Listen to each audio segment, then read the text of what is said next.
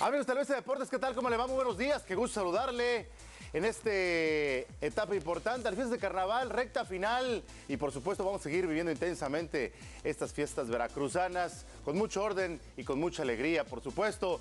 Tenemos lista de información deportiva, señores, a lo que venimos. El día de ayer el equipo de los Tiburones Rojos de Veracruz continuó trabajando con miras a su partido pendiente de la jornada 1 en contra de Lobos Guaploral el próximo jueves, el día y esta misma semana, claro, estarán viajando a la Bella Angelópolis para poder cumplir con este compromiso. El reporte completo del campamento Escuadra.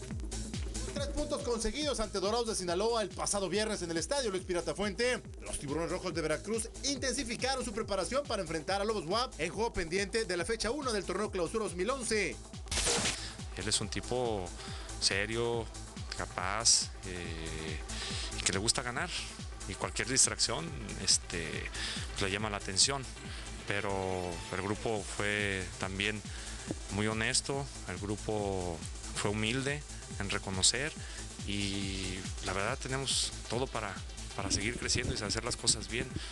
Nosotros estamos con él, tuvimos un, un, error, la verdad fue una desconcentración nosotros, le ofrecimos una disculpa y, y aceptó. Y creo que esto te une más el grupo, el sentido de que Sabemos, sabemos que fallamos, ofrecimos disculpas y el profe las aceptó como, como una gran persona y un gran profesional que es y nosotros creo que también nos deja conscientes y, contentos de que sabemos reconocer nuestros errores y, y sabemos ofrecer disculpas.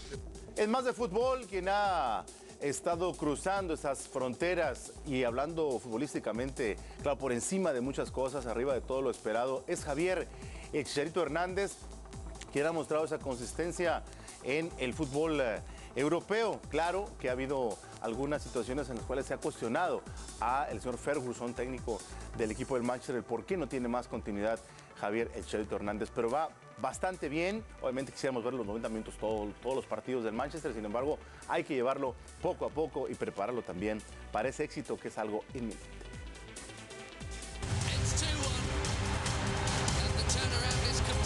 Es el futbolista mexicano del cual hoy por hoy todos hablamos. Admiramos su rápida adaptación a la mejor liga del mundo. No deja de sorprendernos su contundencia y ganas de trascender. En su primera temporada con el Manchester United ha hecho mucho más de lo que en un inicio esperábamos.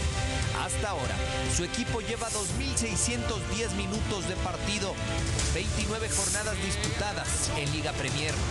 Javier Hernández ha tenido actividad en el 37% de este tiempo, que equivale a 965 minutos disputados. 10 goles.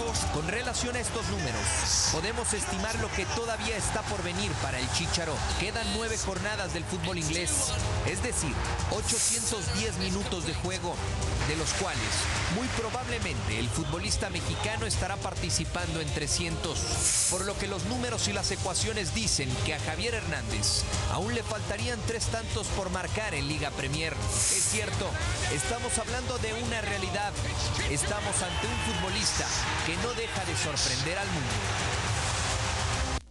Bien, ahí está la parte de la historia de un gran éxito para Javier El Chicharito Hernández que ha puesto a vibrar a prácticamente todo nuestro país. Bueno, pues vámonos con más información y quien también eh, después de haber conseguido su título mundial Super Saúl El Canero Álvarez estuvo de regreso en Guadalajara, recibido por una gran multitud de aficionados, seguidores, claro, después de haber derrotado al británico Matthew Hampton en una eh, pelea para muchos controversial, para otros no tanto, simplemente ganó el Canelo y es parte también de una eh, historia también muy exitosa de un joven de únicamente 20 años, también de Guadalajara, fíjate, dicho sea de paso, Charo también de la Perla Tapatía y también la situación de Saúl El Canelo Álvarez. Ahí estaremos al pendiente de esa trayectoria, la verdad que va a ser sensacional. Vámonos con más eh, información y también con imágenes impactantes alrededor del planeta. Ve usted lo que sucedió en esta plaza de toros, donde también eh, ya vale la pena verlo. Ve usted el susto que se llevaron. Esto fue en Venezuela. Y ve usted este toro cómo vuela y se va por toda la, el bordo. Exactamente, el burladero. ¿Tú crees amanzonante a los toros? Mira nada más cómo vuela.